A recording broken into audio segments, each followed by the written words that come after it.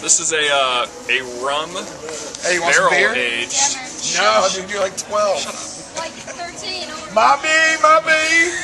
A rum barrel aged imperial stout that is 11% apparently. It's good, right? It's tasty. Three dollars fifty cents for that. Yeah. That's a choice deal. That's a Rolka Nation value, isn't it? And to celebrate the Rolka Nation value, I'm going to chug this beer. Chug this beer. Chug this beer. Chug a lug. Chug, chug, chug. Well done. Chugging the stout. Nice. Ugh. Pass down. Nice. That was for Zadoo. Great. Forza do. Nice. Oh, that was foamy.